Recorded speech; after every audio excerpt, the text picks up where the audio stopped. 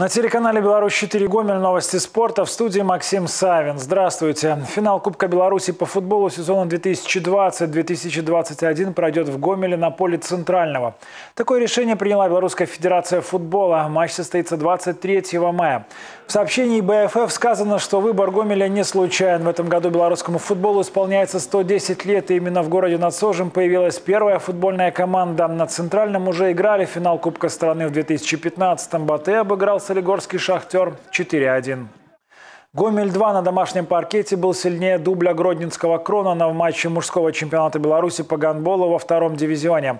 Уступая практически по ходу всего поединка, подопечные Сергея Цыганкова смогли в концовке вырвать победу 39-35. Женский гандбольный Гомель также праздновал победу. Бобруйская Березина не смогла оказать сопротивление действующему чемпиону страны на своем паркете. Команда Томажа Чатара была сильнее 39-25. Главный конкурент гомельчанок, столичный БНТУ, также праздновал викторию викторию.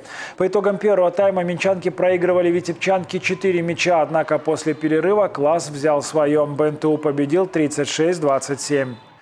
Белорусская федерация баскетбола и ФИБА Европа запустили в нашей стране новый проект «Шаг в будущее». В каждом регионе пройдут мастер-классы под руководством тренера женской молодежной сборной страны Златана Прешича.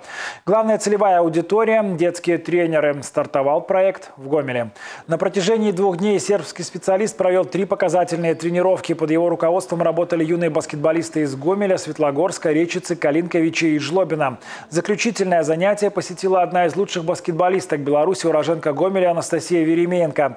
Ребята смогли пообщаться с бронзовым призером чемпионата Европы. Авторы самых интересных вопросов получили от нее подарки.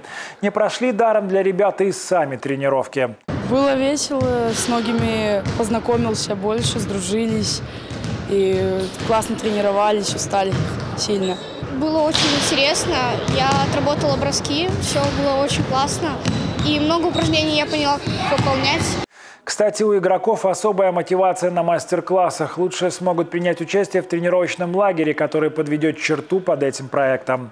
Самое хорошее, что я видно у них глазами, что у них глаза горят, за дети есть мотивация, чтобы работали, чтобы еще попали на эти, там, э, на эти шесть дней в Минску, чтобы поработали и дальше вместе, и чтобы э, начинали делать эвиденцию сами талантливых игроков из целой Беларуси. Конечно, не здесь есть. Главная целевая аудитория мастер-класса – это детские тренеры. В три мастер-класса сербский специалист постарался вложить все азы построения тренировочного процесса с детьми.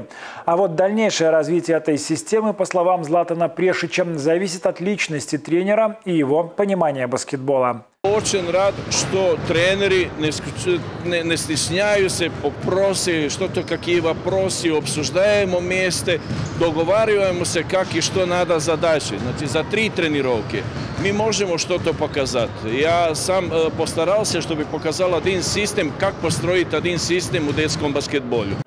Мастер-классы под руководством Златана Прешича пройдут во всех регионах Беларуси. Следующий на очереди – Гродно. С новостями спорта вас знакомил Максим Савин. Оставайтесь на Беларусь-4.